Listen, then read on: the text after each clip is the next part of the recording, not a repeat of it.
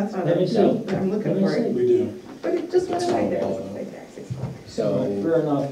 To a call, you don't have to have the CDL. so if any of you, are- any of you fire Okay, I want to call the meeting to order, please.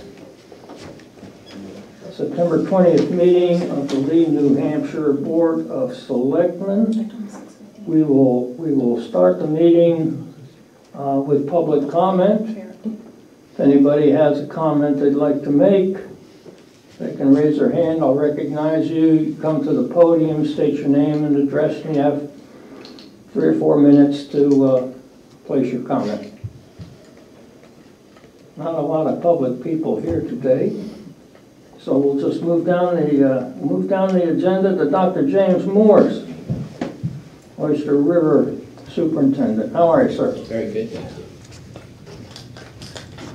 So thank you as always to give me a little bit of time. I'll try to keep it um, brief and we'll try to keep Scott away from the napkins where he starts playing around with the tax impacts and all of that because we're not even going to talk about money tonight.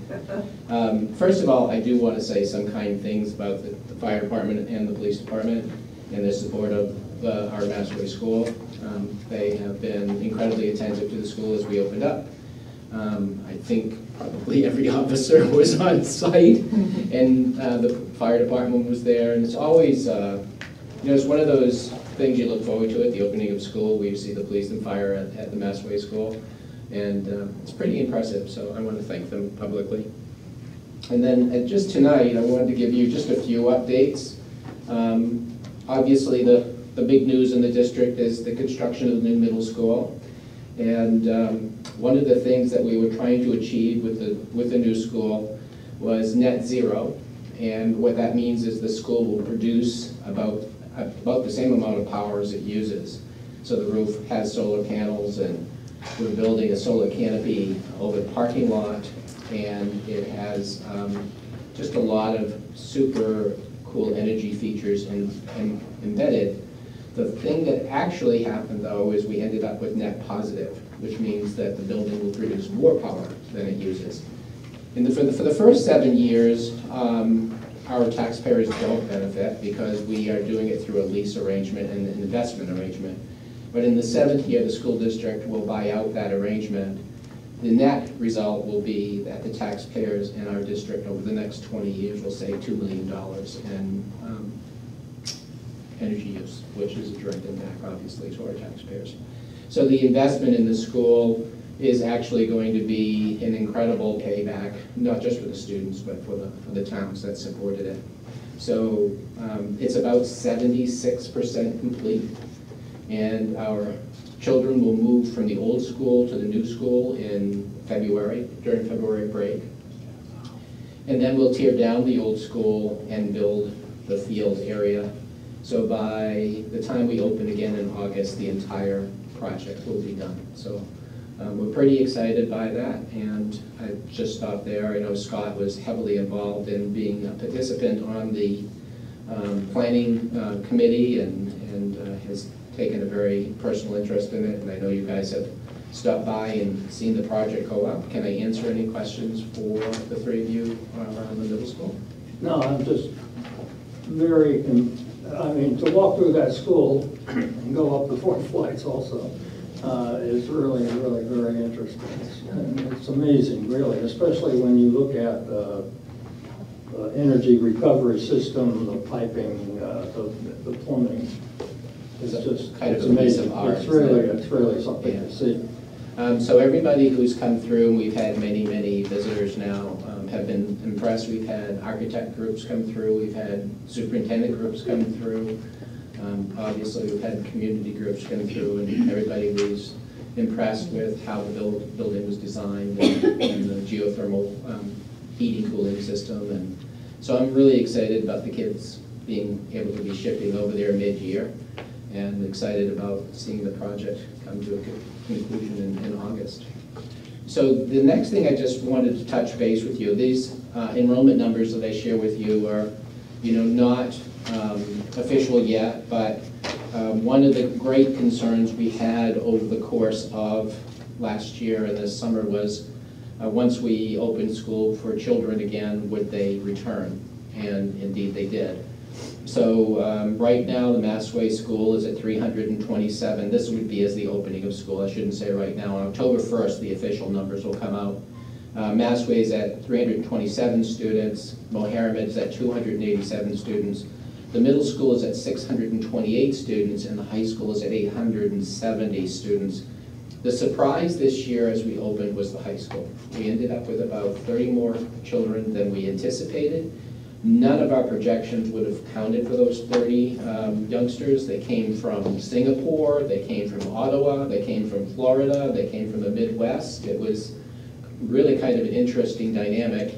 And then the other thing that was interesting about it is the number of children who moved in who were seniors, which is really unusual. You don't normally see families move in the, in the child's senior year.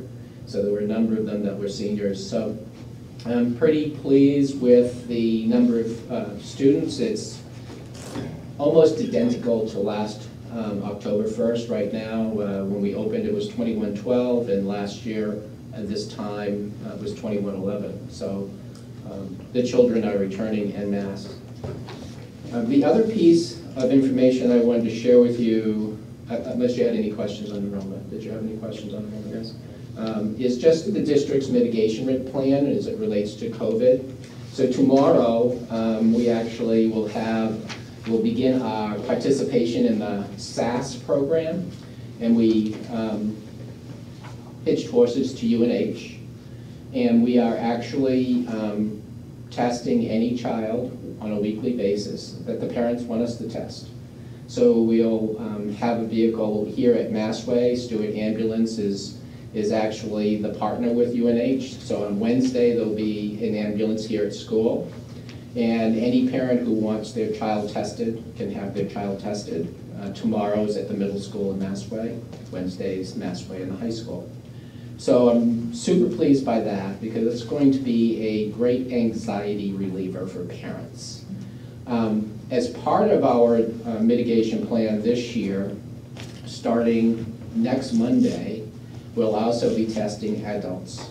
So if an adult is not feeling good in the school system and they feel like they're under the weather, we can give them a COVID plan, um, a COVID test right on, on site.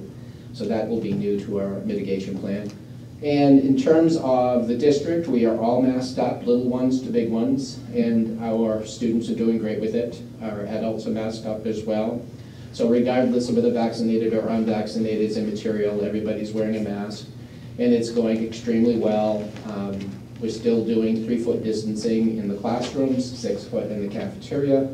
Makes it a struggle here, of course, in the elementary school because we just don't have that kind of space but we're making the space in the gym. So the gym pro, the PE program is impacted by the mitigation plan. So it's a pretty comprehensive and multi-layered plan uh, that we're very proud of. And uh, the parents this year have been uh, far more cooperative. We have the kids in school, and, um, and the, the wearing the mask is a small price to keep everybody in school. So it's been um, a, a good opening to the school year.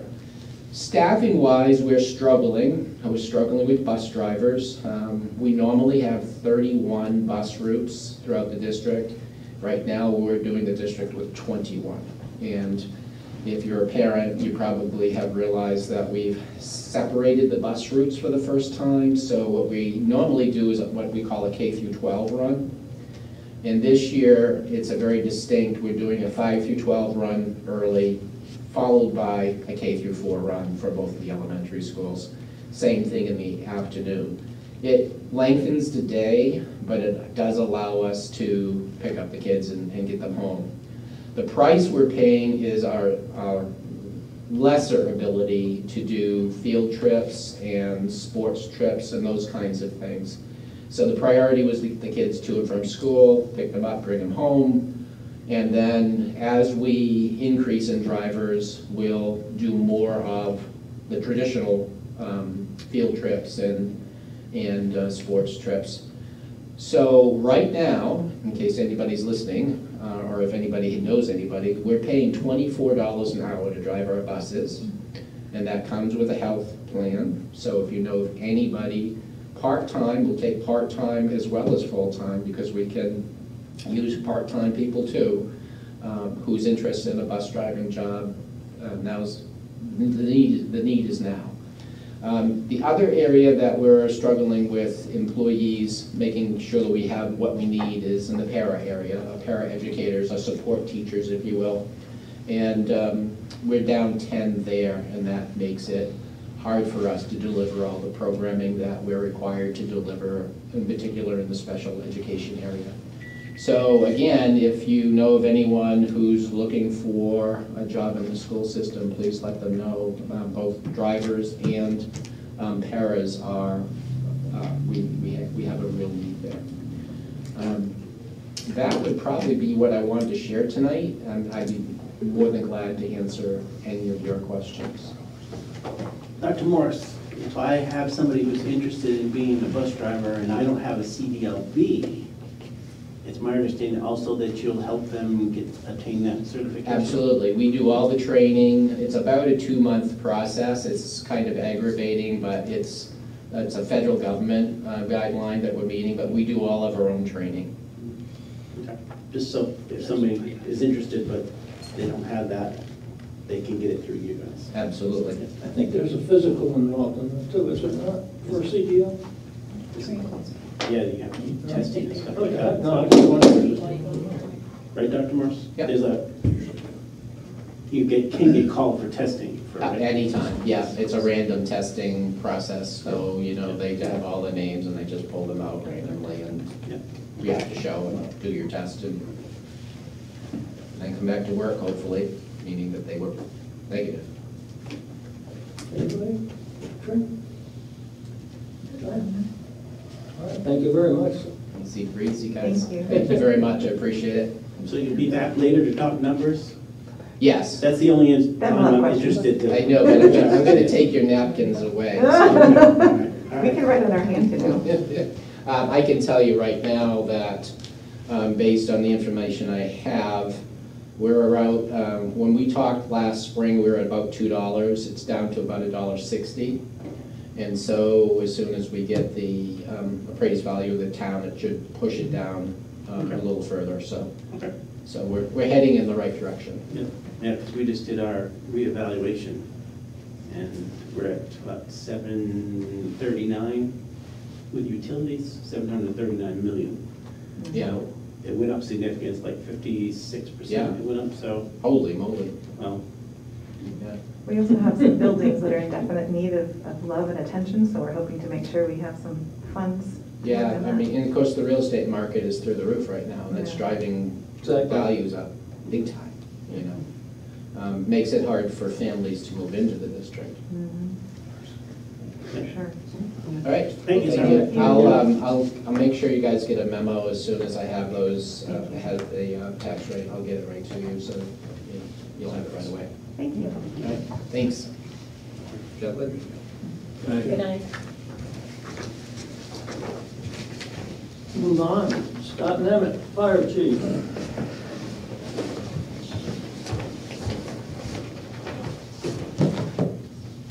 Good evening.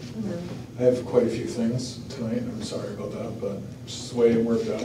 Um, The first thing I'd like to talk about is I know that there's ARPA funding to um, use towards projects. So one of the projects that I've wanted to do for a long time is a vehicle exhaust removal system. Um, It's something that we've looked into in the past. It's about seventy thousand dollars to do the full system. Um, What it is, it's an outdoor fan blower system, and they run tubes off of that. We put it all up into the ceiling, it has a drop-down tube that we plug right into our exhaust pipe. So whenever we start the trucks, which is the worst time for the emissions out of the truck, it goes right through the tube, out of the building and away from everything. Um, Currently, some of the trucks, when we start them up, you know, it's shooting smoke out into the bays. It gets into our gear, gets into the- some of the equipment, so I just like to make the area safer for the firefighters. Um, You know, cancer is definitely a concern in the fire service. And when they built the building, I think they looked at it, but it was too much money. So what we do have is a fan on the far end of the building with a CO meter. Um, In my seventeen years here, I've never seen the meter actually turn on the fan um, due to the smoke. most of the time, we have it running all the time, just to get the airflow through the building and such.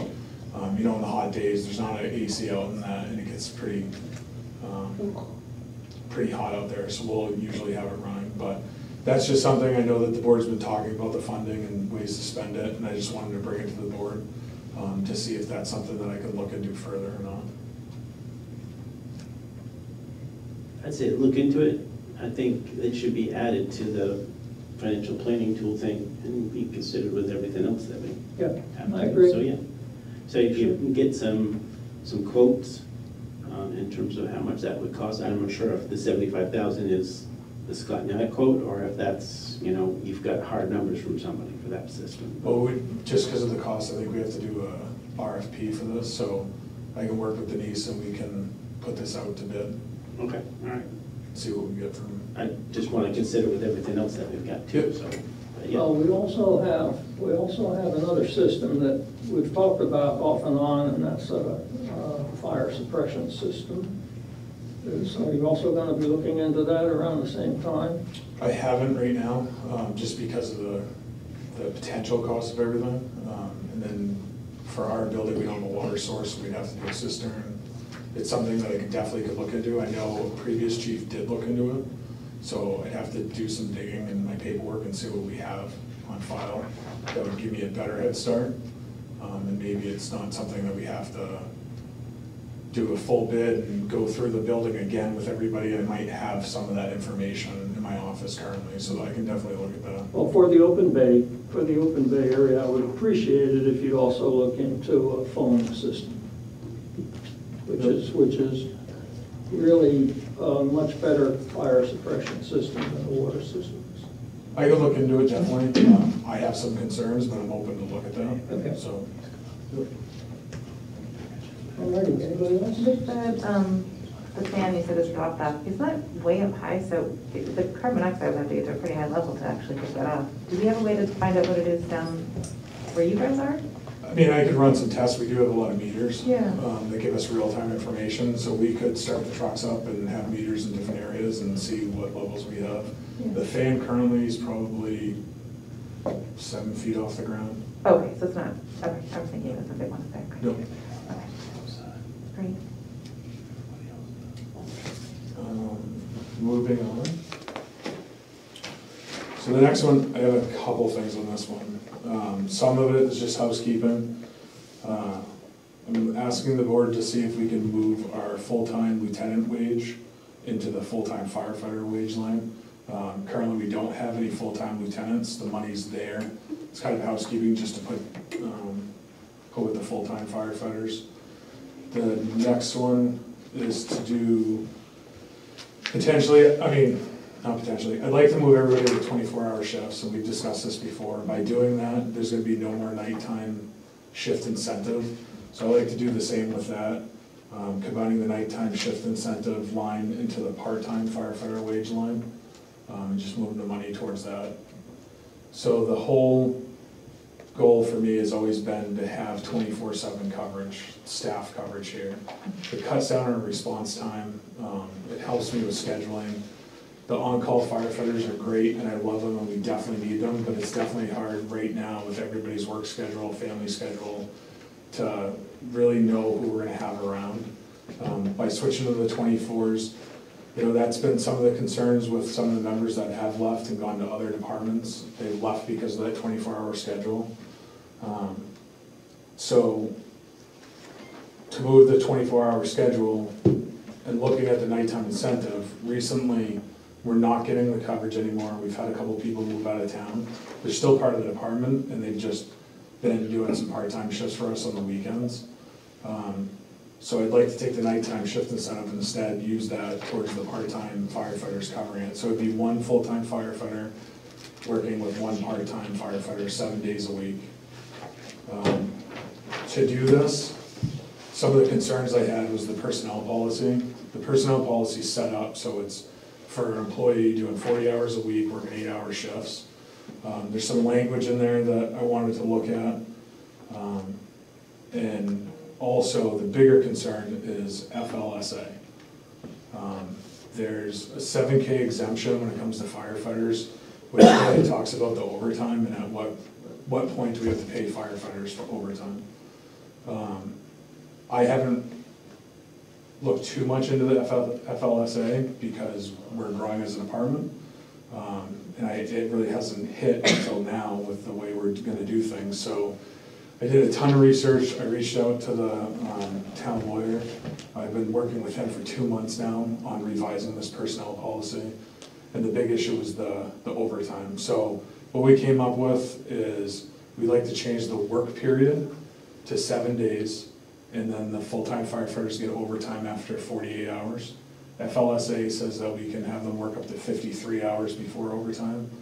Um, I'm trying to kind of keep it in what they have now for overtime, and not just go to and be like, you're gonna work more hours, and we'll figure out the overtime later, so I'm trying to work out that. Um, The work period can be different from the shift schedule. The shift schedule would be an eight-week cycle, um, rotating through, so if on week one, they start on Monday, they won't work that Monday again for eight weeks, because they're gonna be working twenty-four hours on, two days off, twenty-four hour shifts off, one day a twenty-four hour shift, and then they'll have four days off. That shift schedule is um, used by a lot of the full-time area departments around here. There's a couple that do one day on, one day off, one day on, five days off. Um, But for our area, the one on, two off, one on, four off is more normal. So when I looked at that, when I looked at the area departments that are full-time, that's where I came up with some of the changes in the personnel policy. I don't know if everybody got a chance to look at it. I can go through every change that I made if you would like. Um, Or I can hit the bigger ones. It's up to you guys. I have a couple of questions on, but whatever you guys want to do. Yep, go ahead. Do you want to hit the bigger ones and then we can ask questions? Is that- Um, So like we discussed, just discussed, the FLSA, so our work period would be seven days with overtime after forty-eight hours. Uh, And this shall constitute a seven K election under the FLSA. Um, Can can I interrupt you as you go on? Because I'm a little confused here. It's seven days Yep, um, with X days off after 48 hours. The 48 hours is a straight run, or it's, uh, in, how many, how many days does it take to get 48 hours? Two So- days, three days? Two, two, Two two, days. twenty-four hour shifts. I can give you that. So this is broken down to our payroll week. Yeah, week one. Um, And then how many shifts they're gonna do, how many hours they're gonna work, and then that's the total for our pay period. Because right now we get paid bi-weekly, so in the first week, they'll work ninety-six hours yeah, total, and the next week seventy-two, and then 96, 72. so it's a rotation. So this is the FLSA. We can go from a seven-day, eight-day, nine-day, fourteen-day, twenty-one, all the way to twenty-eight days, and then that tells us when we have to pay them the overtime. So, oh, okay, that's what I was interested in, is when do they, when do they start getting overtime? So because they're gonna be normally working the forty-eight hours a week, Yeah. I'm asking to do a seven-day work period and then get paid overtime after the forty-eight hours. So there'll be two times in that eight-week cycle that they'll be working a twenty-four hour shift. So they'd have to work another twenty-four hour shift bef- at regular rate before they get overtime. Because overtime would be after forty-eight hours. Okay. What I've been struggling with with the, the lawyer, we've been going over back and forth, like I said, for two months, is that most area departments average forty-two hours a week. And the overtime is af, the overtime is written down so that it's any scheduled shift that's not their normal work schedule. So it's anything outside their normal days. I know that firefighter, like shift A is gonna be working, I know what day they're gonna work next year, because it's the same schedule, they just rotate around. And we can map out their schedule that far. So what other area departments do is they're just saying it's a forty-two hour work week, you're gonna get overtime, anything outside that. And we're kind of fighting back and forth on the regulations, and he's looking at it as the FLSA, which we're doing, but I'm just looking at other contracts and other personnel policies um, that do what I'd like to do. Because that's one of my concerns, is that those two 24-hour weeks, they have to work another shift at regular rate before they can even get close to the overtime rate. Right. But he's saying to stay within FLSA, we have to do the seven days and forty-eight hours. So that's what I went with. Mm-hmm. It's a whole, I will tell you, I've been working on this for two months. Good. I've reached out to bloggers that I know who are firefighters and lawyers that understand all this. I've emailed people, I've tried to get a hold of NHMA, I've talked to our town lawyer, I've reached out to full-time firefighters elsewhere, I've reached out to unions to talk about this stuff. I mean, it's a big deal, and I wanna make sure that the town's doing it correctly, and I wanna make sure that the firefighters are getting what they should as well, so. Okay. Just, it just, it it strikes me as being a little complicated when I Oh, first yeah. look at it. So, It's very That's the two complicated. months. You've done a great job trying to untangle it and make it make sense, so thank you. Um, and If you do have any questions, there's a great website that I found called firefighterovertime.org. And I actually reached out to the gentleman that runs the website. Um, He has a ton of different articles. The problem is every article's kind of close to what we're gonna do, but it's not Not exactly what we're gonna do. Um, But I did reach out to him, and I talked to him for over an hour on the phone. Um, He's not licensed lawyer to practice in New Hampshire, so he could only tell me his opinion and things that he's, you know, seen in the past, but he definitely helped me out understanding a lot of the stuff, and, and reading the articles made me better understand the seven K exemption and FLSA, so it's a def, it's a good website. Okay, I'm sorry to keep interrupting, but uh, how about, are there any neighboring towns that are going this way? Or are we, uh, in other words, is, uh, is Durham going on this kind of a, of a, So Durham's on another schedule, or the same schedule, sorry, different work period. That's, they average it out at forty-two.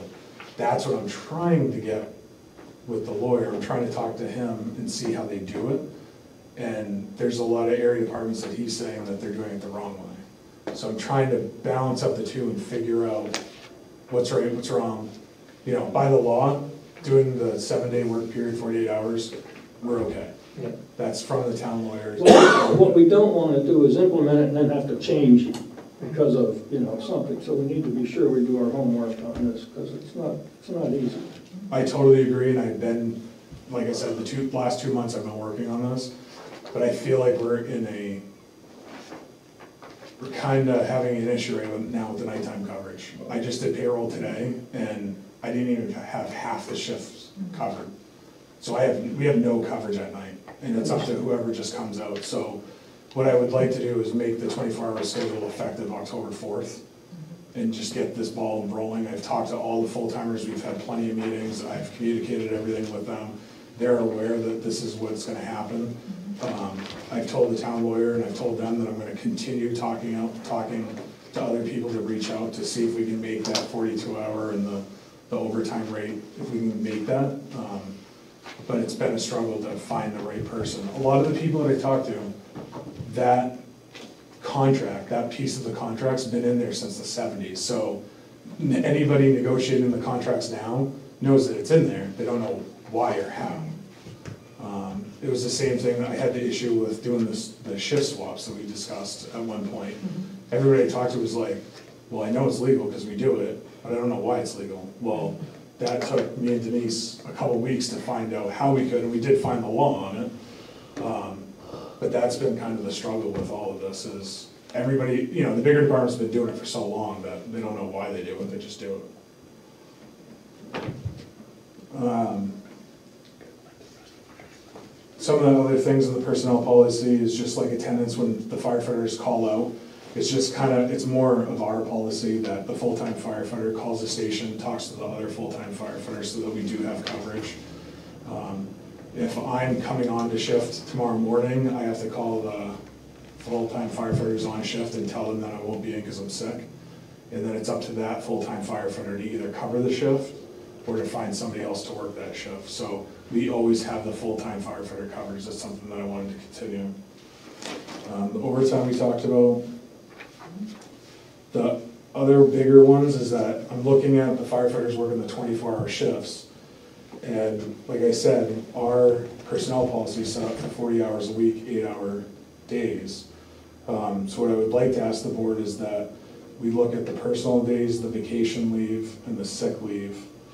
Um, And what I would like to propose is for the personal days, they get, the full-time firefighters get um, two 24-hour personal, two 24-hour shifts, which would be their personal days off. And then the vacation leave, because it's 24 hours, and it's gonna take them so much longer to add up the hours for the vacation leave, because they accrue it. Instead of the first year of employment at 6.67 hours, started at eight hours for that first year. Um, And then the sick leave, I'd like to ask the board to allow them to accrue a rate of twelve hours per month instead of the eight hours per month.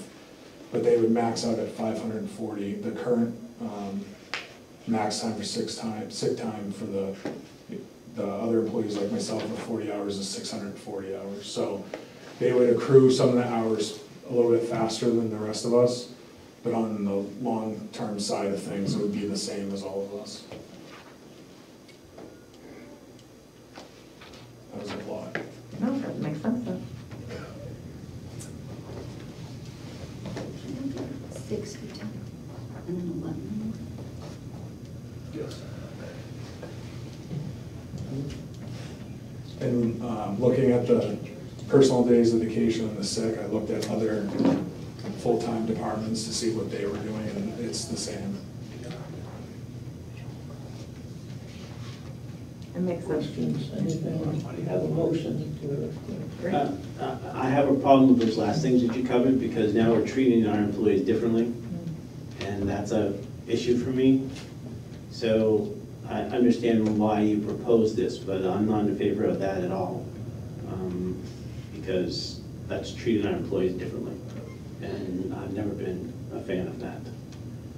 So I understand why you're doing it, but I'm, I don't agree with that. But if somebody has a day, if they're a twenty, a twenty-four hour shift and they need the day off, it doesn't help, like they're still, their days are just different, so.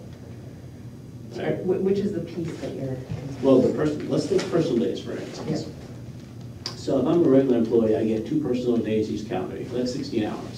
He's proposing to give them twenty-four hours for a year, that's more. Got it, so you're saying that. Yeah, and, and I have less of a problem with the sick leave in terms of starting it a little bit faster, but if we're gonna do it for the firefighters, we need to do it for everybody else. And the same thing for in terms of, what's the other one, the vacation thing. Vacation. So uh, I'm just not in favor of that.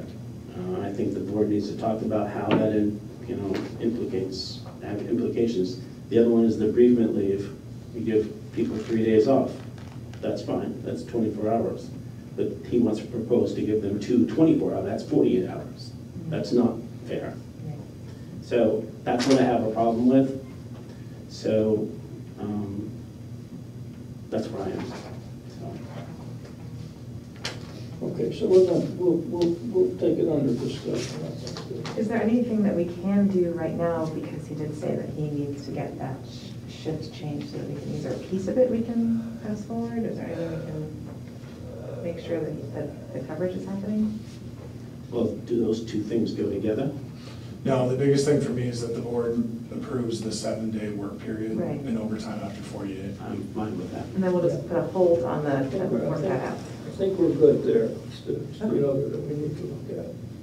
And in terms of the other thing, and, and this is my opinion, in terms of the other things that you're requesting, I, I hold you to the bottom line in your budget. If you want to move things around, it's up to you.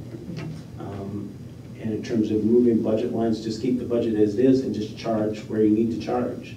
Um, I'm personally not gonna hold you, if, you know, if your full-time lieutenant's at zero and you. Just stay within- That's perfectly fine. Just My stay within was- the bottom line, just stay Yeah. within the bottom line. My thing was more just housekeeping to Yeah. work with Joanne so that, because we don't have a full-time lieutenant, it was just to move it down to the full-time firefighter. So I can actually look at what we're spending on that full-time firefighter. Yeah, that makes sense. I completely understand where you're coming from, but for me, it's just, you know, we're gonna be negative whatever in one, oh, we're gonna have all this money in another one, and I know bottom line, you know, I For me, understand. I, that doesn't bother me. Yeah. Okay. That doesn't bother me. And in terms of, uh, if your budget is five hundred thousand dollars and you spend 499, I'm perfectly fine. If you go over, then I want an explanation of why you went over. Um, But yeah, I'm perfectly fine with you going negative, personally. I don't know I about the agree rest of the as two. well, yeah. Um, I'd rather keep the budget the way it is, because then when you go in next year, you're probably gonna ask for a lieutenant, maybe, I don't know. Okay? Um, But then we can change it at that particular time. Right. So I'm fine with it. Okay. Great. So, Okay, so we have a motion, uh, move to approve the use of ARPA funding to purchase a vehicle exhaust removal No. system. but that was. That was the old one. Right. I'm sorry, That's the old one. Move to the next. that's the old one? That's the previous. Just really quickly, do we have a plan for when we can get back to the chief about, about these days, so we can tell people that work with him?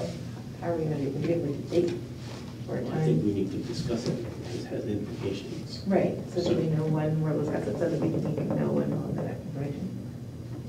No, The one on, the the one on the next page is relative to what he just discussed. Mhm. It's not about the ARPA funding. for We're not doing ARPA. We're just gonna do this one, and Why aren't we doing the ARPA? Last because you're taking that one under advisement. And then the third one is just gonna be modified. It's going to be modified? To say the work period, to approve the work period of seven days and overtime over forty-eight, right? Correct. So moved, So moved. that is the thing. All right, We just need a second. Second. Vote. motion passes. Uh, we just did. Did you vote? We just did. I was proposing the language that you said. Okay. We got a second. Oh, okay, okay. And I guess we voted, but I didn't remember voting, but that's okay. But I voted. Oh, I thought you did. okay. No, I Who seconded? I second, okay. Yeah. We can vote again if that makes everyone happy. No, that's good. You said you want more. Neither one of the ones we just passed had the ARPA funding issue on it. Nope. That was the first thing, we're not ready, to- we're not ready to pass it. Not ready. Who's we? We just decided as a group, I thought that he was going to look into more information before we pass that. Because we have to finish the plan for the funding For as the, a for the town. vehicle exhaust removal system? Because that, yes, because we only have two hundred something thousand for the whole town, so we have to decide where that fits in. with I'm that. just gonna get quotes. Yeah, Okay. Number three. The last one. yeah. Um, For you, for those who don't know, uh, I am a coach for Oyster River Youth Association for the hockey program. Um, I'm also the coaching coordinator, so I would like to ask the board to allow Oyster River Youth Association to use the meeting room downstairs on September 28th, um, 7 to 9, so that we can have our coaches meeting. Um, We're bringing in USA Hockey to do a big program. We need the space. I talked to Matt Globe, we don't really have the space at their facility, so I was wondering if we could use it. Is there any reason? Insurance? It's coming. Me and Denise have been working with Matt Oh, all weekend. Yeah. I'm okay with it as long as you get the insurance endorsement, that's fine. I agree. So yes. Mr. Brown, will you? Okay. Good. Thank you. Now I'm done. Finally.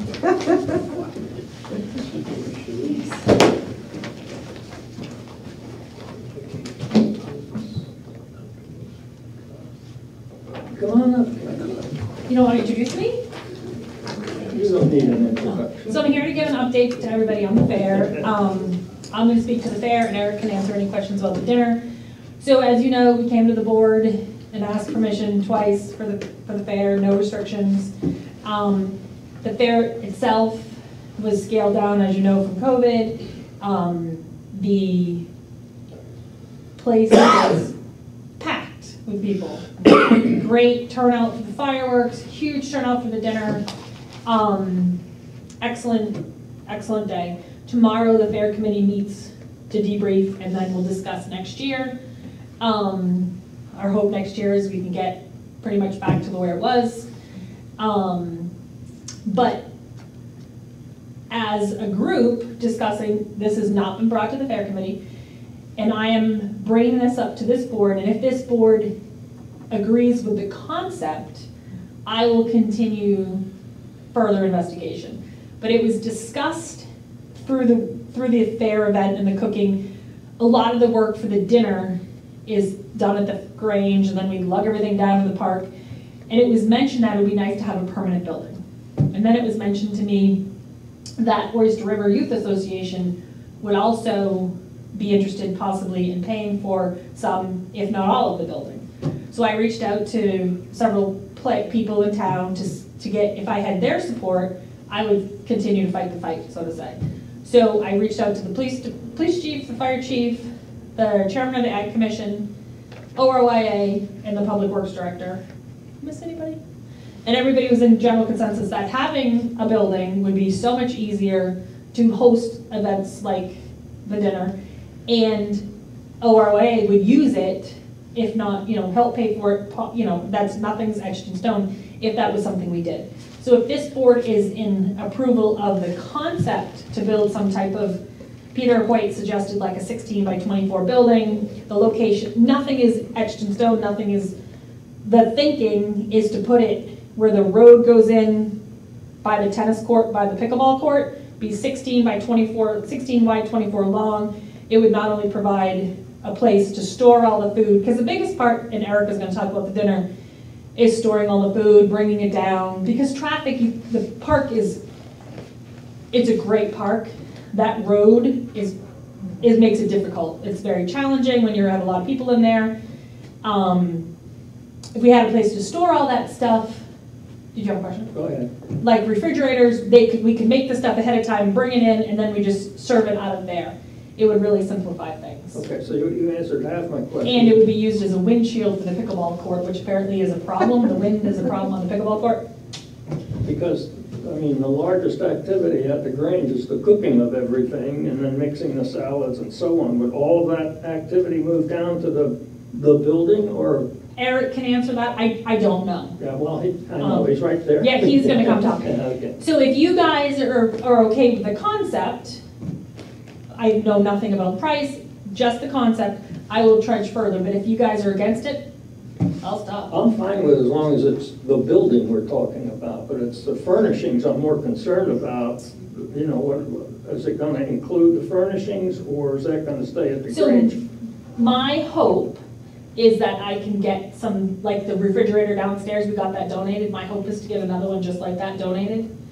Um, And things like that. I'm hoping to do it as least expensive as possible to get everybody on board that's gonna use it, iron it all out. But before I started, I, I just got the, I, if I didn't have the support of my fellow coworkers, I wasn't gonna fight the fight, because it's no fun. Okay. So, So, speak to me, Karen, about what's in this building.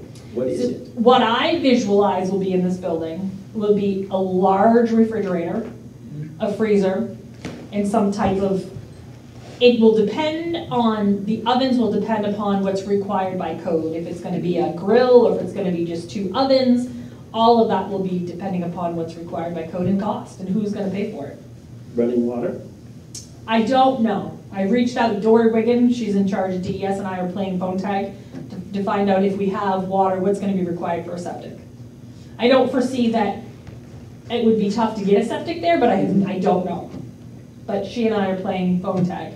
Madbury is just a holding tank, but that has, that's Madbury, not Lee, so I don't, we will have to do it correct. Is the water down there potable or not? It is, it is potable, but we would not market it as potable because we don't want to be, a- have to worry about being a public water system or anything like that. But would you use it in cooking though? I have to find out from DES. That's the same thing, Yeah. so. I will have to find out all of that information. I just, like I said, I just wanted to find out about the concept, and if you approve the concept, I'll take it to the next step. But if you guys say not interested, I'm done. Yeah, I just have a couple questions. It would be used how many times a year? The town, so next, so the rec commission at the last meeting has um, decided that next year, we're not going to do the Music in the Park series. We're going to do, once a month, starting in June, we're gonna do family night. We're gonna have food, entertainment, live music, and for kids to do. So theoretically, it'll be used four times, it'll be used once a month, June, July, August, and September by the rec commission for food. Then the fair will use it, so that's five. And then if, if ORYA, as an example, helps pay, they will use it for their events as well.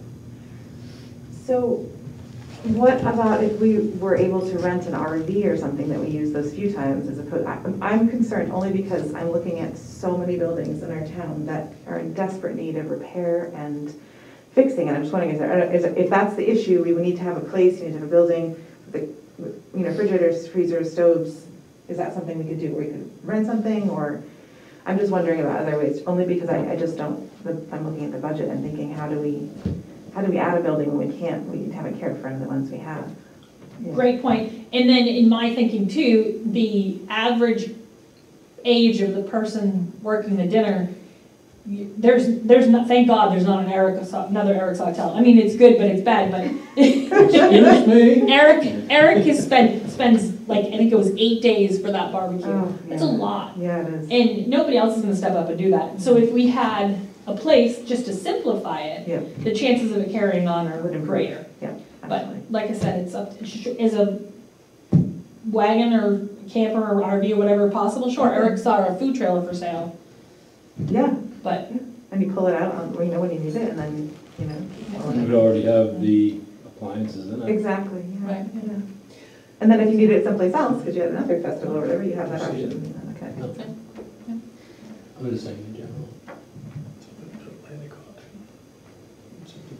Anybody? I'm on the fence.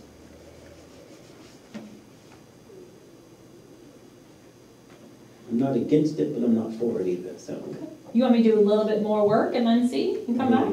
Well, I think, I think the issue about the water is very important, because they use a lot of water for washing the dishes, the pans, et cetera, et cetera. So there certainly needs to be a water, s- a water source. And, Well, uh, we have a well, so that's done. It's just what the, like I said, I didn't do any, I called Dory Wick, um, not Dory, I'm sorry.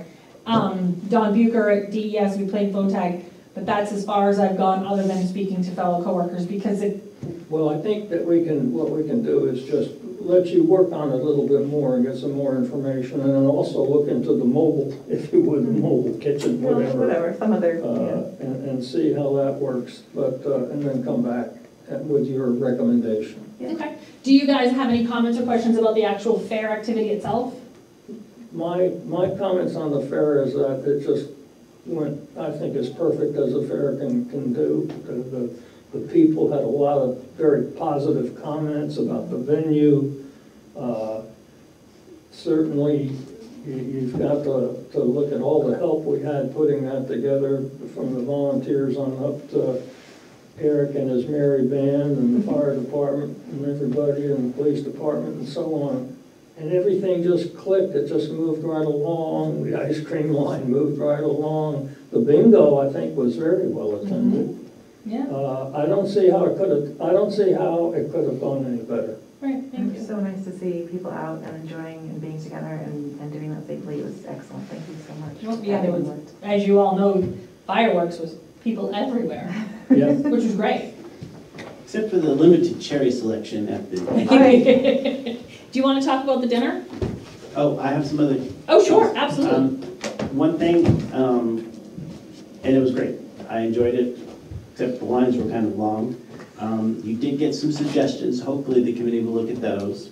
They talked about a vegetarian option or something like that, and I liked their idea in terms of the macaroni and cheese Thank thing you. for the little Eric's kids. here to talk about the dinner, yeah. Yeah. All right, uh, but in terms of logistics, could you guys also um, put something in the e-crier and get people's, you know, like, what you like? Do you have any suggestions, kind of Sure. getting some feedback? Uh, And the other thing, how did the nonprofit go in terms of the thing? Did they make some money? Were they The happy about it, or? they did make money, but what they, they had never run bingo either. What they did was every game, the prize was 50/50 of what was paid for. Um, So next year, they're going to look at giving pri, donated prizes instead of money as a prize. So instead of making thousand dollars, they made five hundred because half of the money was given back. Okay, But they, um, it was great, ex- they, they had a great time, great exposure, Okay. yeah, and like I said to them when we talked that night, you know, it's our first time doing it. Yep. So, you know, just gotta get the word out. Uh, And also, just thinking in terms of your e-crier thing about, ask people if there's interested in volunteering. Mm. because Okay. you're starting up again. And the last comment I have is submit your expense things to the trustees so we can get this done by November.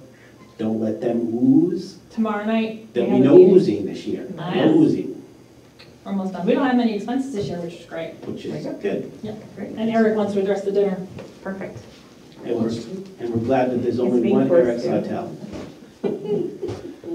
Thank you all, um, and thanks to everybody who helped out.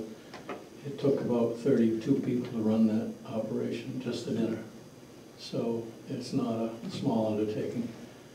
Um, If you've got questions, suggestions, let me know now, so we can think about it.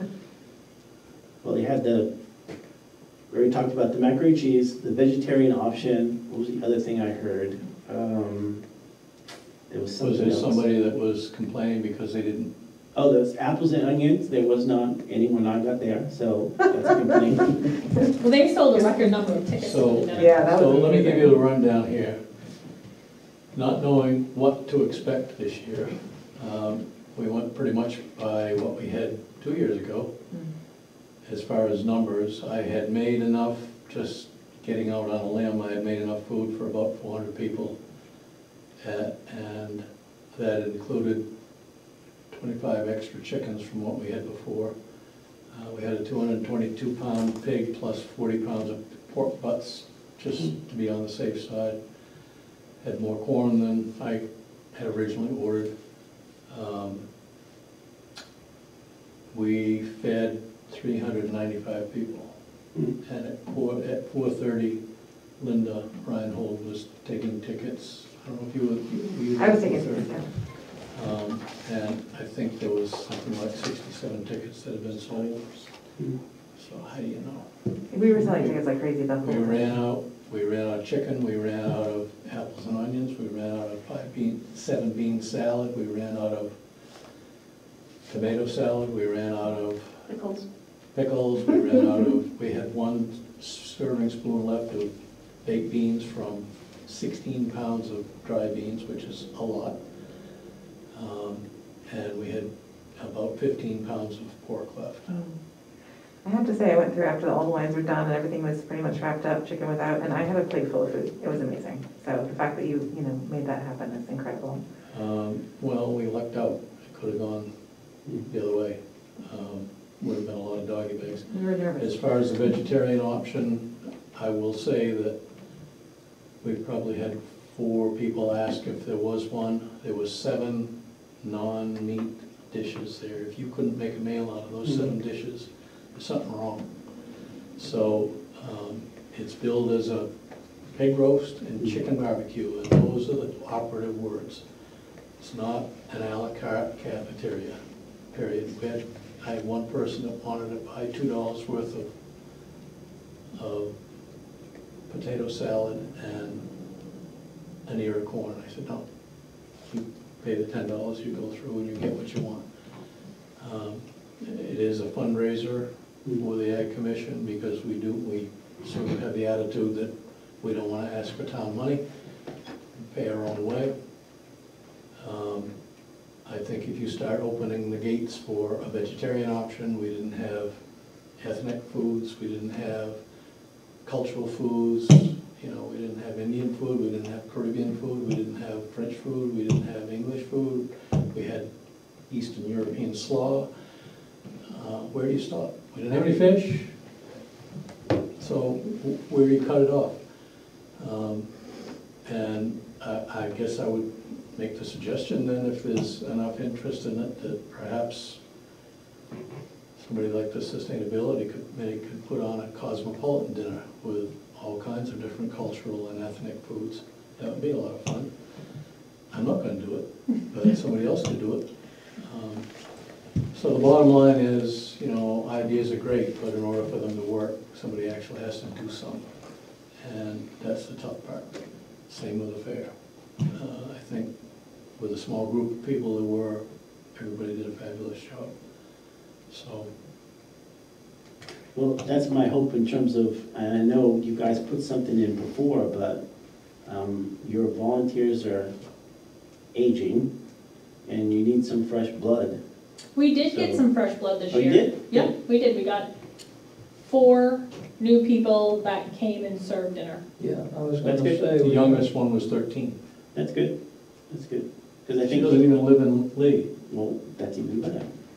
But I think that's part of the particular issue you're gonna have to deal with going forward, is because you guys keep doing this great job every single year, but The the problem is it takes a lot of time to do it, and with younger people working, well, many hands make, you know, Right, right. so, you know. um, I just, even if you didn't, you don't have to change anything, why not just have a ticket that says vegetarian on it? To- And then the person can just skip that place, and like, it just, for someone just to feel like, oh, okay, I can grab a Did you- vegetarian. Does that matter? I mean, did you say you ate?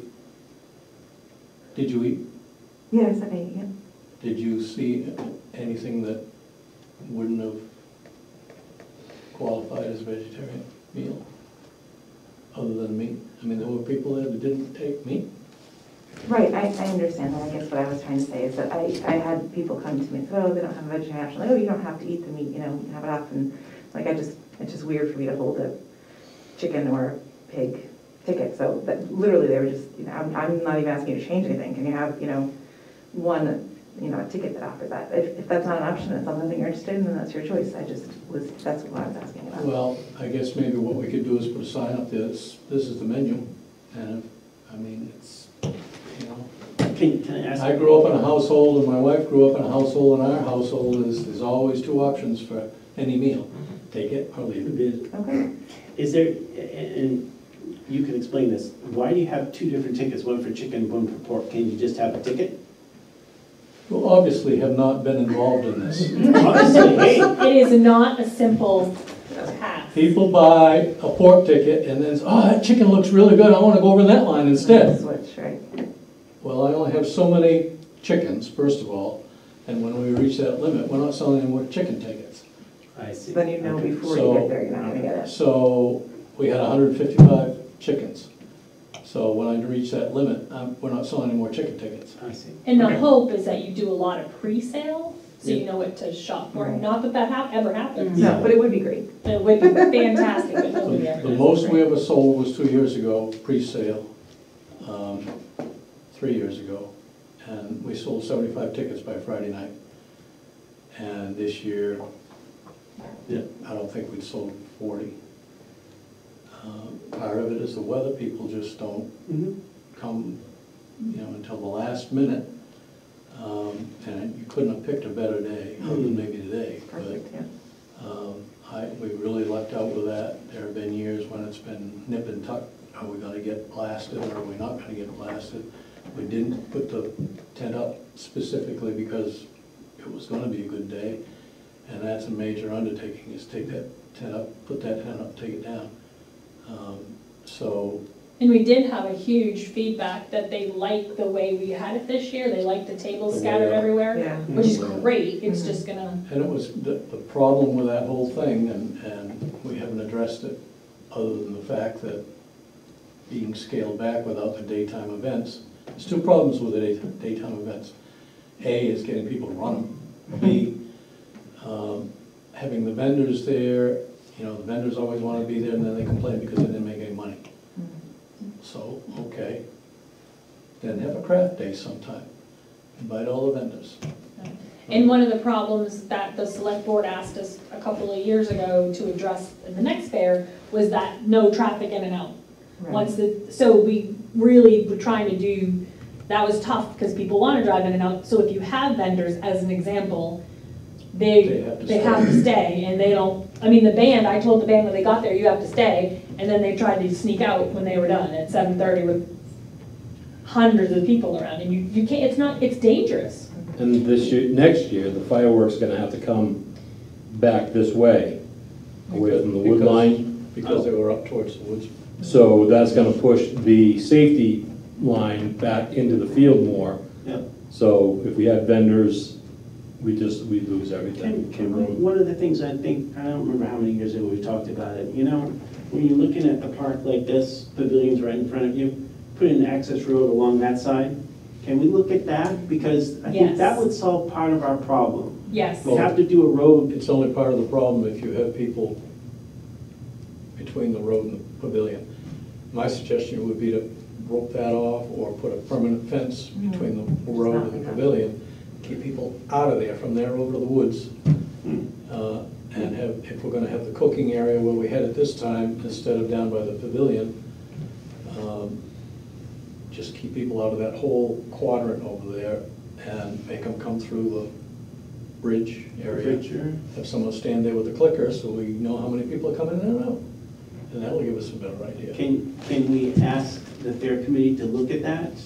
If that's We- a better we will be solution than, That's already. Yes, something we're tomorrow talking night, about. yep. okay, And then so- Steve did mention the road. Yep. Yep, so if Steve, if we were to, so the road, putting that road in, Steve mentioned the other day, if we put the building in down there, Mhm. because in thinking about that, a problem with having the trailer is you don't have any storage space for the big refrigerator, and that's huge.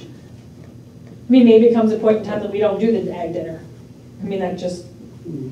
Okay. but anyway, he said, you know, we could do this and this and extend that road, but we can look Okay. into that. Because it's, unfortunately, that road, the way, the layout of the park has some flaws. Mhm. Oh, And you, you can rent temporary barricades too, if it's not something, you know, if you only need it for that one day, and you don't want to change the layout, you can rent the, the temporary barriers for just that day. Well, you can do Put it 'em with up. caution tape down, you know, fire, police line tape.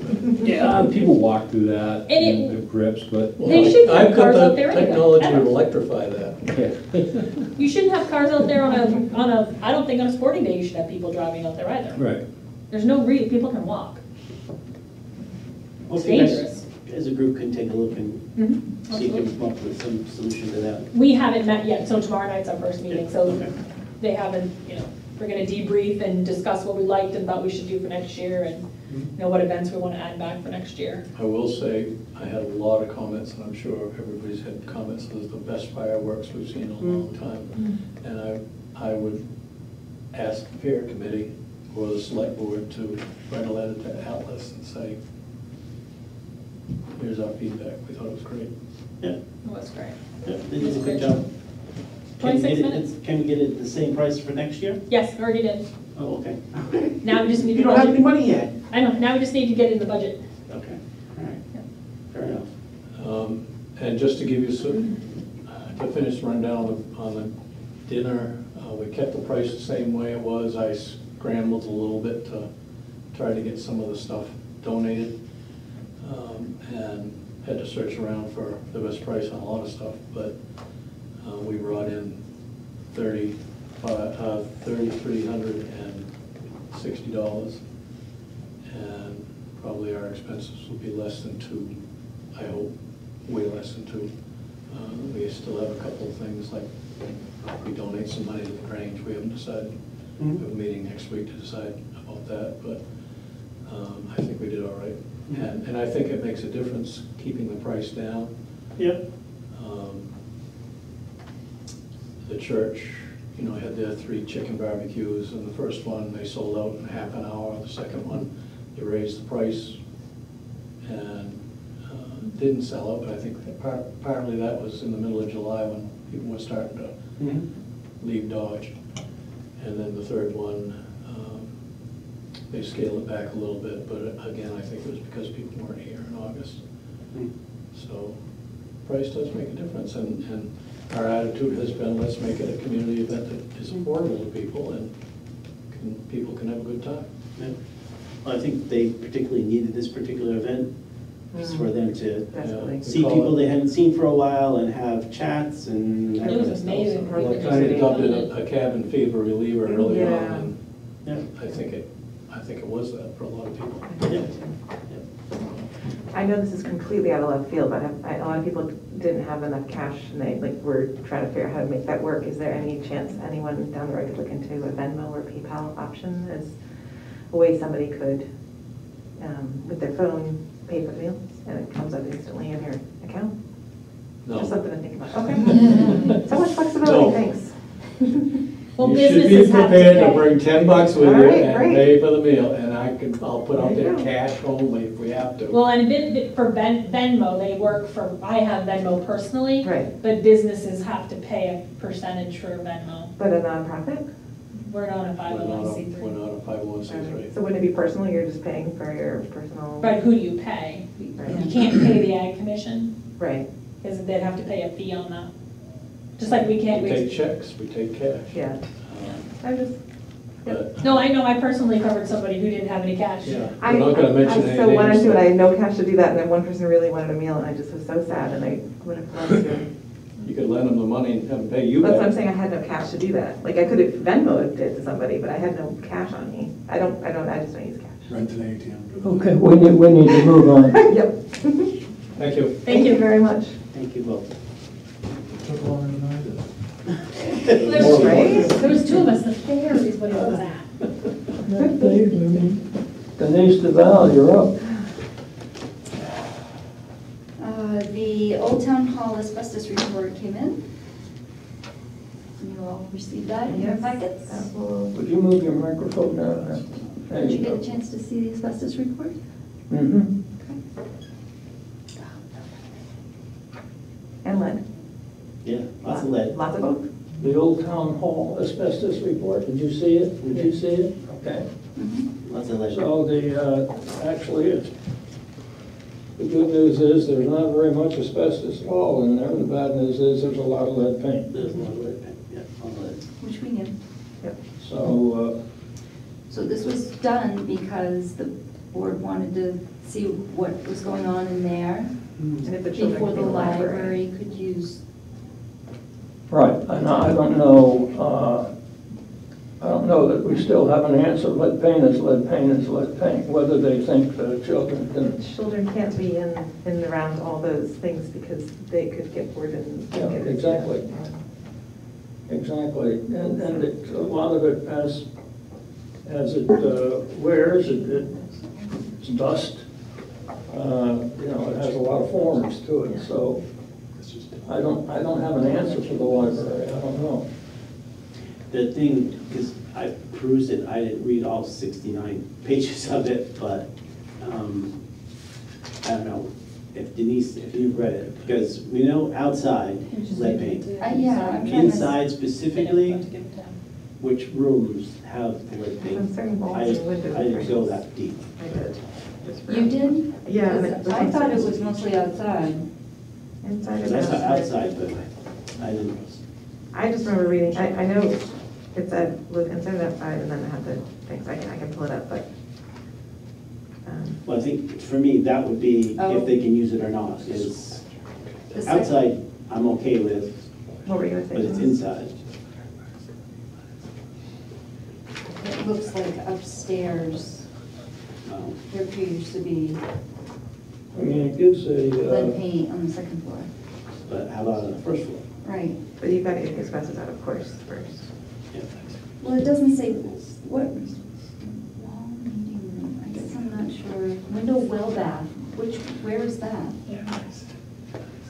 That should be on the outside, that should be the Outside. outside. Yep. But I guess for that, I, I'd rather go through and just see what exactly it is. Outside, I'm okay, it's been there forever, but it's Mhm. inside downstairs.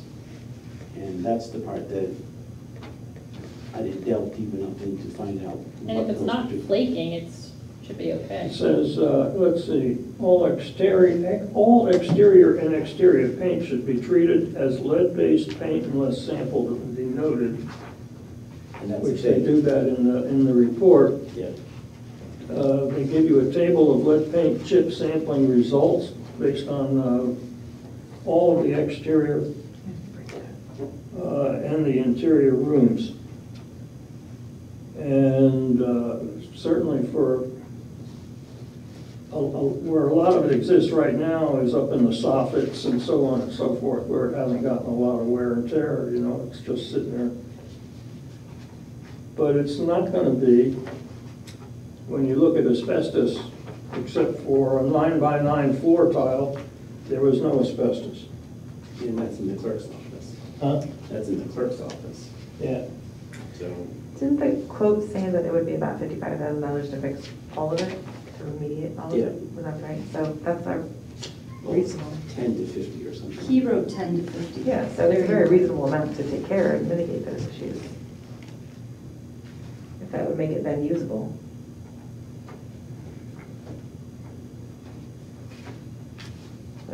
Building So I don't think we're in a position to pass. All right, the I don't think so. I would want to, I did not have time to go and look at every single page of that, so I would want to see in terms of what it is downstairs, because that's the part they want to use. Mhm. So, But we can say what's not down there is asbestos.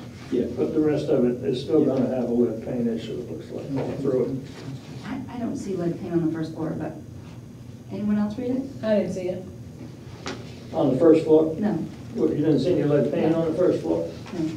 I might have been looking at the pictures, I apologize. Um, can, here, I'm gonna delegate, and she's gonna hate this, but can we have our health officer and or building inspector take a look at the report and give us their expert opinion in terms of what the issue is or issues? She's saying yes? Yes. No, she's- Yes, I, yeah, and Mr. Tappan has a, wants to talk. Mr. Brown? Mr. Tappan would like to speak.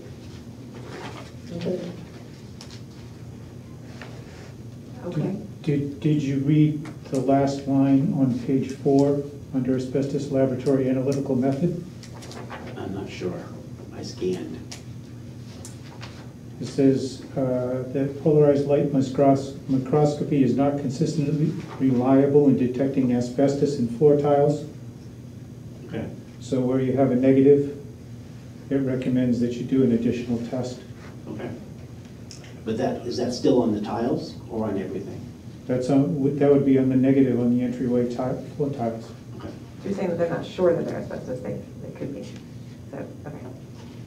You're down there underneath the results, is that where you're looking at? Uh, Page four, yeah. Right above the results. Yeah, there's, under the results. The older Just ones. above Just results. Just above it. The old floor tiles.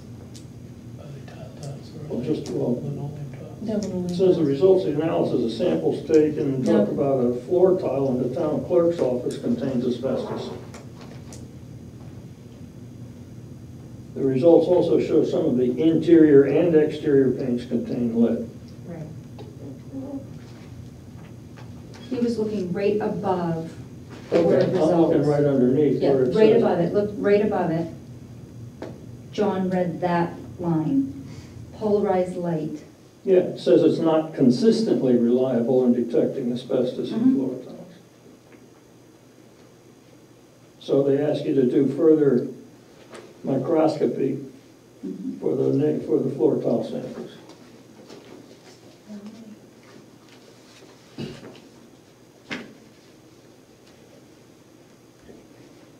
And this you're concerned with, for the, for them to go in, to walk across, to get to the other?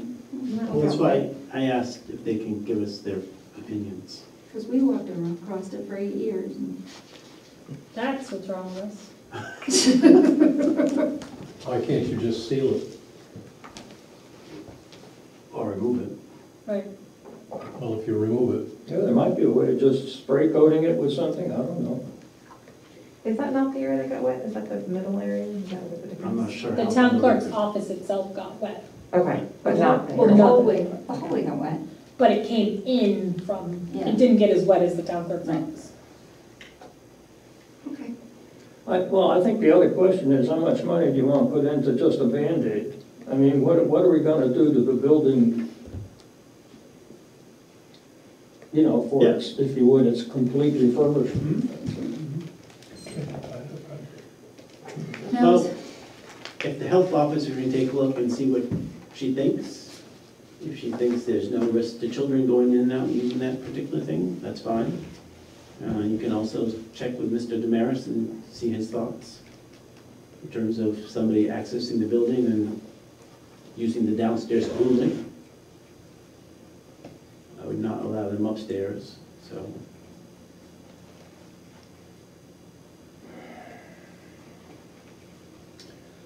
So as far as the invoice goes, the nine You hundred should- and you should be able to fifty. pay him the nine fifty-five.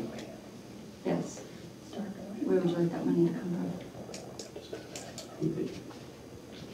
from? Office manager. Comes up in Okay. building I can, I think it should come from the contingency. contingency, that's right. Yeah, there It's you an go. unanticipated expense. There you go. Great. Need a You're motion, still up? need a motion for that? No? For the contingency fund, under a thousand? No. No? Okay. I think general consensus will charge it to the contingency fund. Yep. Perfect. Well, no. Next thing is the office manager, or, as the study might say, executive assistant. Oh. I'm not sure. This is where she, she took my job descriptions and, and meshed them You together. need to speak up. So many names. Took the job, MRI took the job descriptions and meshed them together, and I'm not sure if office manager is where she's gonna land, but the job description that I put in is just a draft I put together so that she would have something to go, thr- go by as far as what I have, what I do now. Um, I don't know if you had a chance to look at it, any comment, no? Okay. It just came today. I didn't see it until, The, the office, that was in the agenda from. I didn't get a chance to see it until Oh. today, so, Oh, you didn't get on Friday? yeah, I did, but Oh, I have a personal life. okay. So things happen in my personal Really? life. Can I get one of those? It takes time, so no, I didn't get a chance to read that uh, particular thing. Okay, we can just do it, it's not, I did, however, send it to her as a draft and just let her have something to go fine. work. Um, The next two items, I would like to move, have them move into non-public to discuss under RSA ninety-one A under L, because I have uh, recommendations from the town attorney for both, of- on both of those items that I'd like to discuss in there. So that's C and D? That's C and D you're talking about? C and D, yeah. And then the MRI classification, E, um, I did send that out, that didn't go out till today. Um, I didn't get it till today. Um, and it's still in draft form. Um, I'm not sure if anyone, I showed it to you, but I'm not sure if you had a chance to see it. Um, Can- Is, are we gonna get something more than this? Because the thing that I'm missing is, okay, she's got, or they have numbers from these different towns, but like, for instance, I'm just picking the top one, finance officer, and they've got rates for all those particular towns. But I don't know if the finance officer in Lee has been here for twenty years, or they just hired him last week. Right. So, for me, there's a longevity issue here. So, they've got a big range from Epping at eighty-one thousand to Lee at fifty-six thousand, so is the Epping person been there for twenty years, or if they were here, they're, you What did they know, two make money? weeks? I can ask about, um, if length of time was calculated into this. Yeah, in Um, terms of, this, I would think they would have that information, but I'm, I'm not sure if this is just, because we asked for a preliminary, Apples. is there other things coming besides that? See, part of the problem is No, they're the- they're all one eaches, you know, it's not like they have a salary. Yeah. uh, I did not see, and I don't think Julie saw the, how they collected the data or the questions they used in collecting the data. I can find out, I can ask for certain questions Okay, well, I to think, see what they have. just in terms of the time I spent just looking over this, that's the thing that I'm missing. Um, So, so you'd like to find out more about what they asked to collect? yeah, in terms of if they have any longevity um, numbers, so like finance officer Lee, how long has, they- have they been there? Okay. Uh, Finance officer in Epping, how long have they been there? I'm just picking those two, but I would want. To know. Or, or that might just be the salary for any finance, I mean, that's just their salary scale that they've established, that, okay, for the finance officer, Yeah. it's this, regardless, you know? I want to know a little bit more. Huh? I would Okay. want to know a little bit more. Yeah, no, I agree with you, I think it's, uh, at least important to know whether it's a, a salary structure that they have, or if they're With just off experience and Yes, ad yes. a degree or whatever. Okay. Beautiful. Thanks for getting that together. Let's see, C has been moved to non-public. We, we just talked about the salary survey. Miscellaneous, who's she? I'm all set, I don't have anything. Okay, The consent agenda, do you still have? Yep, still good, consider it too. are we done? Mhm. Okay. Uh, Number seven, then, make a motion to accept the consent agenda as presented. Can I get a second? Second? Roll call of vote, Selectman Bugbee? Yes, Select person Casper? Yes. Selectman Brown, yes, motion passes. Any miscellaneous unfinished? Ah, Here we go. Oh, that's not too bad. And then I have the, that's one. Oh, That's the whole thing, but you only need to sign one page.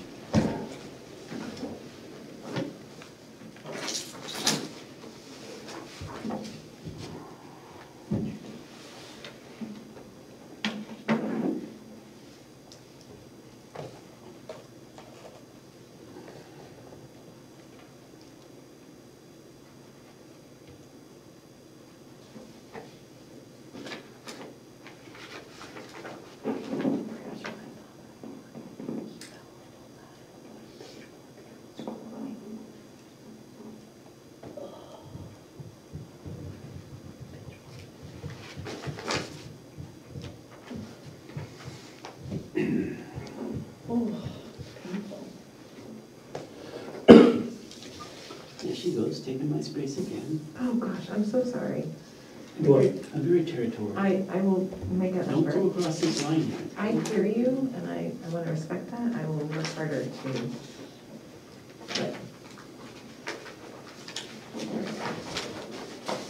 Oh, hold. I don't like change either, do you? So hear you, but don't do it this time, do it next time. I'm just listening. Right, this is new, so I can start fresh. Great. Knock yourself out, whatever you want. My name's here, so that makes it. Oh, yeah, yeah, don't sign on my name. I don't know what that other thing is. Information gathering. The one we have.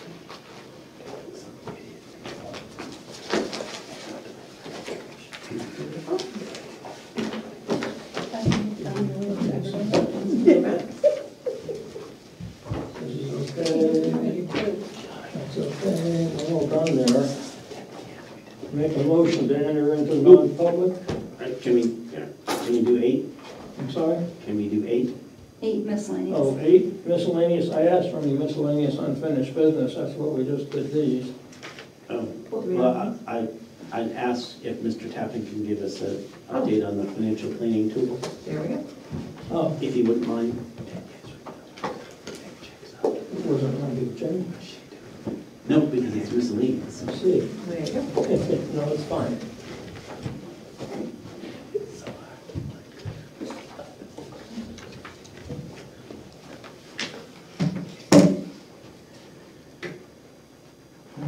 So, um,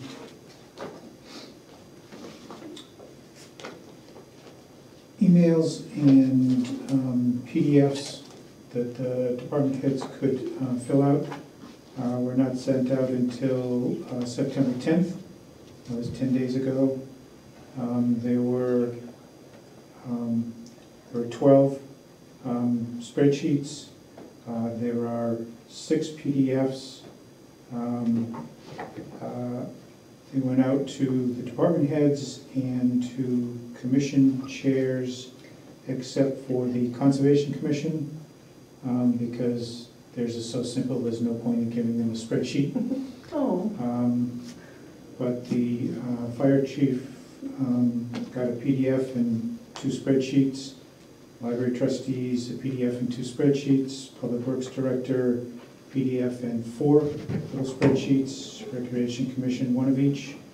Um, And the um, acting town administrator, uh, one uh, PDF and two spreadsheets. Uh, The spreadsheets are just the, the spreadsheets were just the um, user input.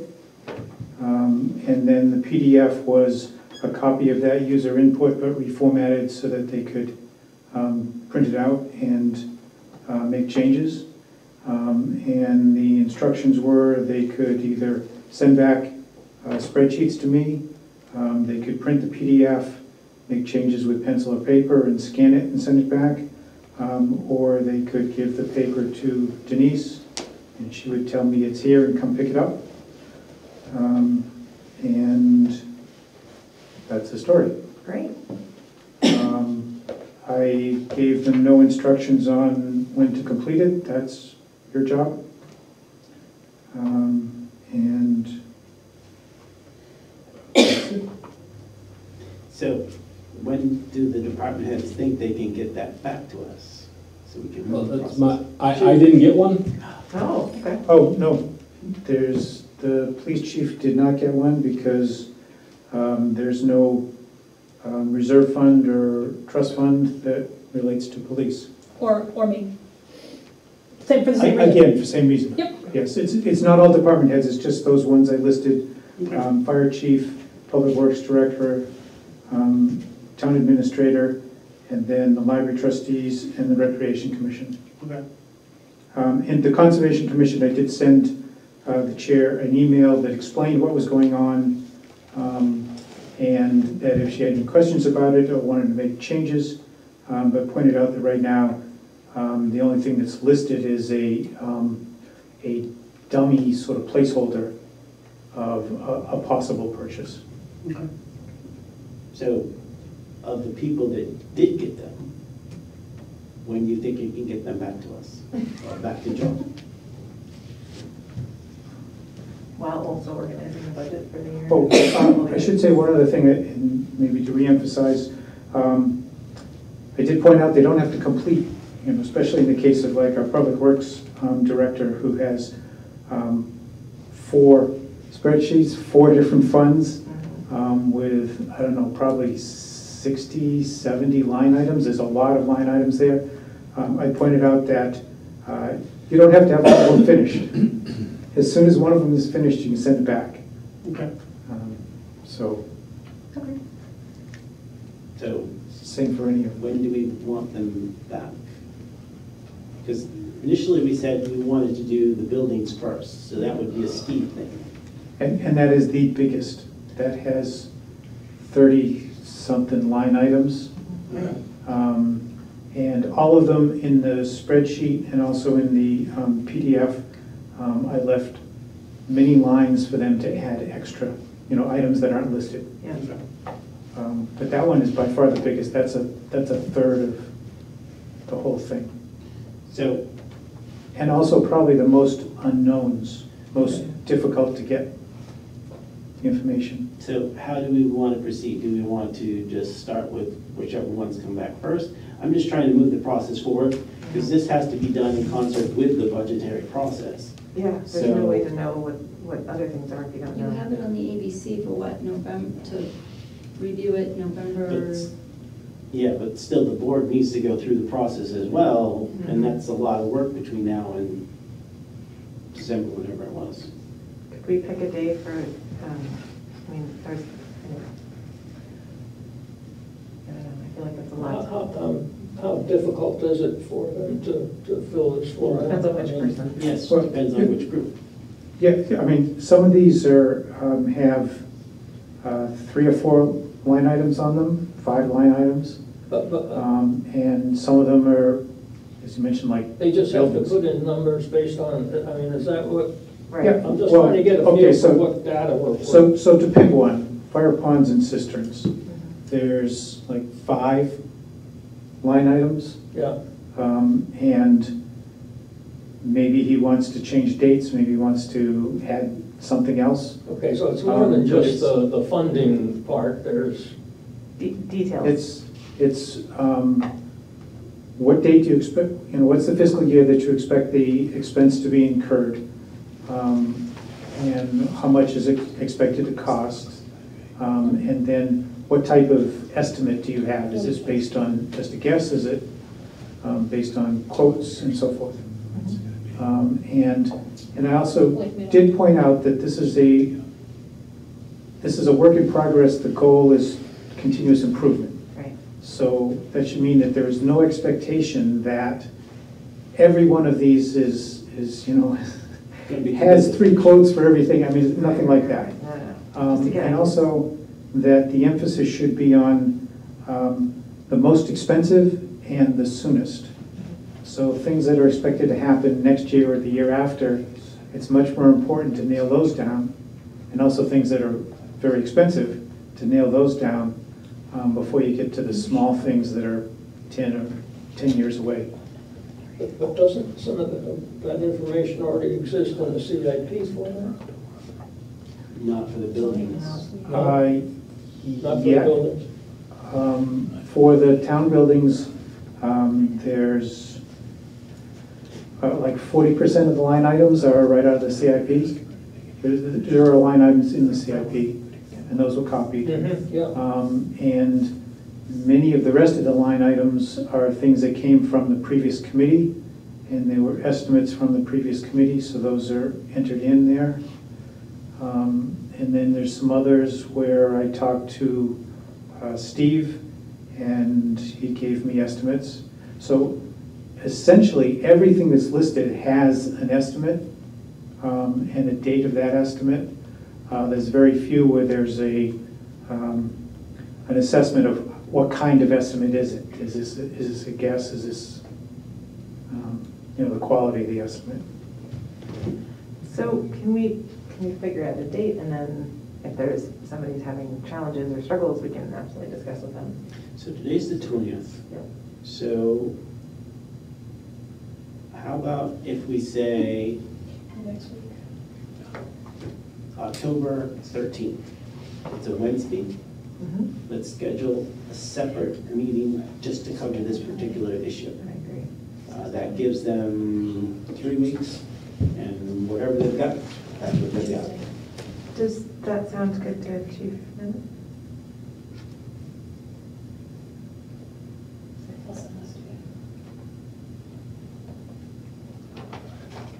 Well, I guess I misunderstand how much it takes to fill this out. Yeah, that that gives them a month from the time they've received it to fill the form out. Is Yeah, it and gonna some of them are gonna need all that time. Is that right? Yeah. Okay. Steve's gonna be the one that's gonna have the hardest time, He's Yeah. already started working on it, though, I know Yeah. that. but that gives them time.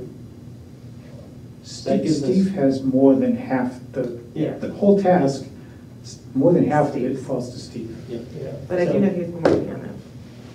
So let's say the thirteenth, and we'll take whatever we've got at that time. That doesn't mean that they can stop looking, you know, if they've still got more to do. Right, and things come up in that. Yep. That'd But I'd like to, on the thirteenth, start with the buildings. Does that make sense to everyone? there. Okay. So what are you expecting to have to look at on the 13th? Uh, I expect um, the new high-resolution projector to be utilized Yeah. For displaying those particular spreadsheets. So then he would So- need that sooner so that he can put it into So- the computer. So the spreadsheets that they received um, didn't have any of the functional part to it. I don't know if they were sent out to you, if you got copies of it. I didn't see Um, it, But it was just the input but that's cells. Um, So when that comes back to me, then I put that into the financial planning tool, Yeah. which is the tool that you look at Right. to see what the implications So how are. long do you need from the, before the 13th to have that information so that you have enough time to, to input that? Um, If, if these were to start coming in within a week, you know, some of these were to start coming in within a week, um, and it was to progress sort of linearly, um, if I got the last of them a week before you want the presentation, Mhm, The sixth, yeah. Great, so, do we make that? But if they all come in on the sixth and there's lots of questions, that's, That's right. well, we'll go with what we have on the thirteenth, but let's say have them to John by the sixth of October. And if you can get them in earlier, that would be incredibly helpful.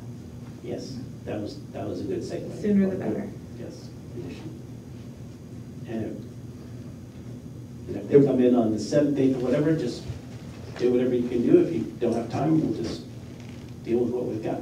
There there was also a third way that I listed in the email, a third way that they could do the input, um, which is just to make an appointment with me and we would sit Okay. one of these projectors and I would just Okay. type the information in from whatever their notes are. Okay. Okay, perfect. So what I'm envisioning on the thirteenth, that you'll be able to project the spreadsheet up there, and the three of us will have a conversation about those particular items. Ask any questions in terms of numbers, staging, details in terms of that particular thing. And then we'll schedule more meetings for the, the other remaining parts later on.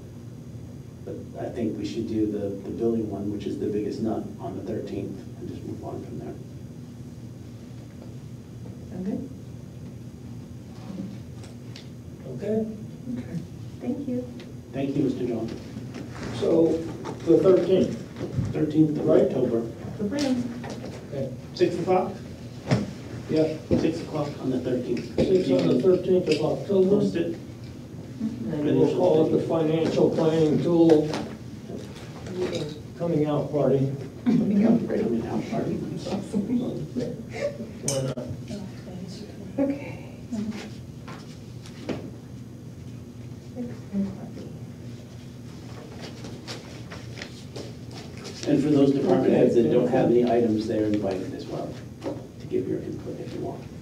But you don't have to if you don't want to. I mean, who doesn't want to? Okay, I want to make a motion to enter into non-public session for New Hampshire RSA ninety-one hyphen A colon three, Roman numeral two, paren, small a and b, And And Al, L, and the L, yes, roll call vote required. I'll second that motion. yes, First, can I get a second? Yes, second.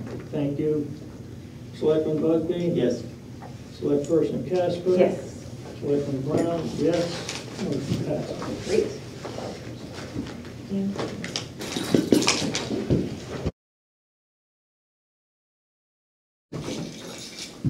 But first, I move to seal the minutes from the non-public session. Second that? All those in favor? Oh, Aye. roll call vote. Aye. Aye, uh, yeah. Bugbee, aye. Motion Casper, passes. aye. Now we can do that. Move to authority award the suburban propane, is that what you want? Yes. Huh? yep, yep, do both. Move to withdraw the award of suburban propane for the FY twenty-two propane contract. Move to award the FY twenty-two propane contract to DF Richard. I second that. Is it One motion or two? Well, it was Two one, together. but Oh, we two. can mesh them together, I guess. Okay. One, one withdraws and one gives it back. Okay. He worded So, it in did you such a way- second it I twice? did second, well, I can second it twice, sure, each it part. twice? I second each part, Thank you. each one. Roll call vote, Selectman Bugbee. Yes, yes. Very good. Select person Casper. Yes, yes. Select Brown, yes, yes. There's no place to sign. No, you don't have to sign that, but those you have to sign for Joanne. You won't go anywhere yet. Oh, um, Well, there's no place to sign on this, I'll give it back to you. Just put yes, yes. Oh, who did the manifest? Did you look at the manifest? Huh, what? Did you, you look at the manifest? I did. Yes. Is there in front So we're, we're getting paid this Friday, yay! Oh my gosh, I still haven't found my check from last time. What, you lost I it? lost Oh, my no, first you check. tell Joanne. I will, I figured I'd wait till the second payment so that she could just do them together. No, I, s- I switched to direct deposit. I, I did as well. I just, I, I was, had my family at a party, and I didn't want a check sitting out, so I s- put it in a safe place.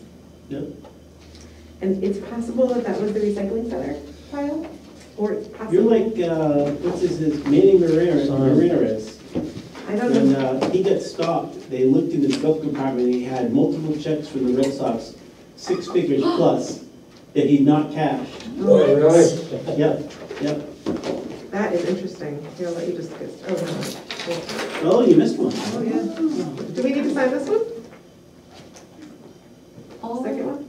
are there, There's no sign Places? here. Where'd it come from? yes, you gotta sign all three spots. But I it doesn't think. have a sign here, so. Well, so, there's four. Oh, I'm sorry. We only do Joanne a- didn't put sign here on all of them? You know what, there are three spots. Are we not supposed to do the ones that don't have the sign here on? Sign all of them. Okay, I'm just gonna sign I sign don't know what Joanne was thinking. Well, it's very possible we don't have to sign them all, and we're just being over-signy, but No. I don't mind over-signing. Okay, They're only there's in that there one, to but then sign. you have to sign that. Okay. And then you have to sign all those. and mm-hmm. Denise, you got all my I already signed all emails, these. I right? just, th- do the other ones. This doesn't, oh, That there it is. additional thing that I forgot to ask you to How do. Yes. How come Bugbee didn't sign? Because I haven't got that one Because yet. I haven't given it to her. These are out of order, Denise, do I, is there a way to fix that somehow? Does it matter? Is that, Just is sign that, them. Sorry. Well, we had them in order, and then you Oh, had to no, sign it's things. okay. No, And now it's they're in okay. different piles, That's okay. so we'll just get them all signed. Oh, look, there's numbered, I can put them back in numbered order. That's okay. It really doesn't matter. All right, all right. You don't want to be that person who messed it all okay, try it again. Thank you. You're welcome. What's This is for you. This? What am I? This is for you, this is for you. And this one? This But I one? don't need to sign this letter because I'm Nope. gonna redo it. You got it. Seventeen. No, but I'm gonna ask you to come in tomorrow, um, What to do you want, sign, are you? to sign it, okay? Okay, yeah, cool. That's, uh, I don't need, we don't need that one anymore, so there's that. Who left? Huh? Was that the lady police officer? Yep.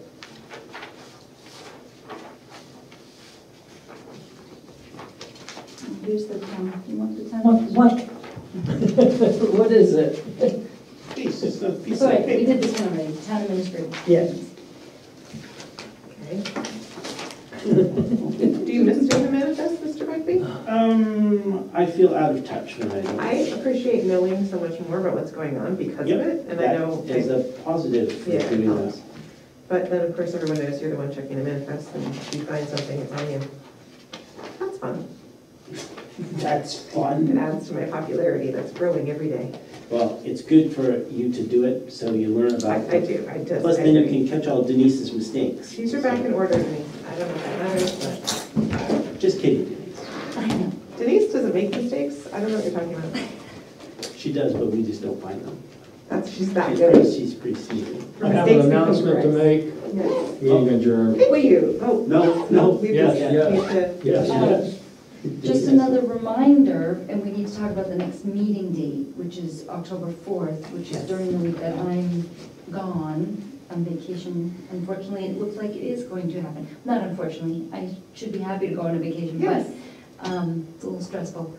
Um, So, Monday, October fourth, y'all gonna be okay by yourselves? No. Wait, wait, who's gonna answer the phone? Could Andy be here by now? No, he's gone then too, right? Andy's gone then too. No, If he's Andy's only able. gone for like Thursday and Friday. It's possible he could come.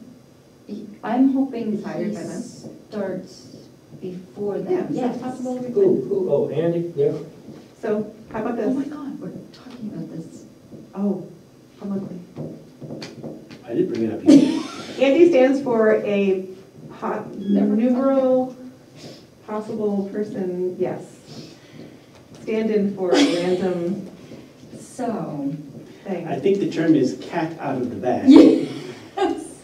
So, in, just in terms of that week, are you thinking in terms of postponing the board meeting? I didn't know if you wanted to still have it or if you wanted to have What, it. what is hot on the agenda? Do we have to have that meeting? We always have stuff on the agenda, but Yeah, yeah. it's two weeks from now, so there's not much on there except a couple little consent agenda items. Um, Could we do any of those items during the um, ABC meetings we have to go to? Okay.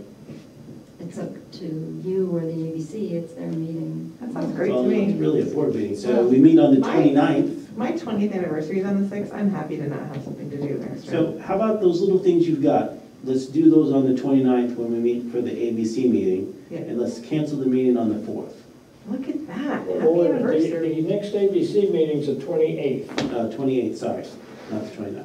My apologies. I'm just gonna write this down. ABC, we're gonna do. Whatever that little things that you said that were Did you hear hanging. you have a Monday off? Hmm? Did you hear you have a Monday off? That's right, we did, don't we? Look at that. No, the fourth now.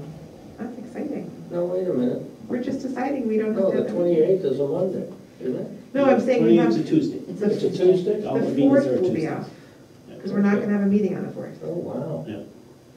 And then we meet again on the 12th, Twelve. which is the ABC meeting, I believe. Oh, what, So just for this, we're canceling the meeting on the fourth, and those little things are on the twenty-eighth.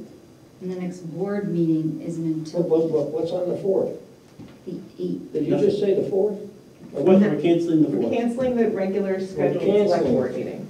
canceling the fourth, So the next meeting we have is the 29th.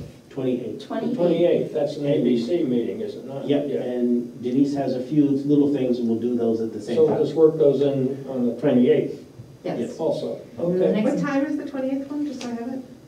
Six Six, PM, I think. Six, I I haven't entered these I into my think thing they're all yet. at six P M.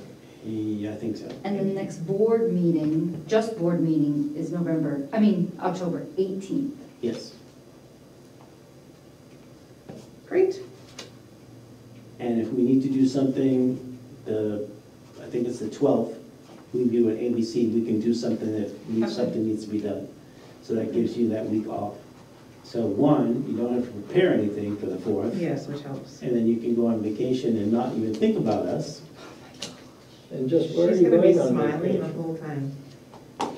Florida, of all places. You are gonna be just fine. It's lots of air in Florida. Just stay outside. And don't near, go near the alligators, and you'll be good. Or the boa Or constrictors, near any pu- public, very crowded places. yes. Well, just pop a mask. All right. Now Is we're this the big okay. Moment? Now Mr. Brown can say his thing. Hey. I already said meeting adjourned. Oh, we just re-meeted, so we're meeting adjourned Comment. Meeting adjourned, meeting Yay. adjourned, meeting adjourned. There you go.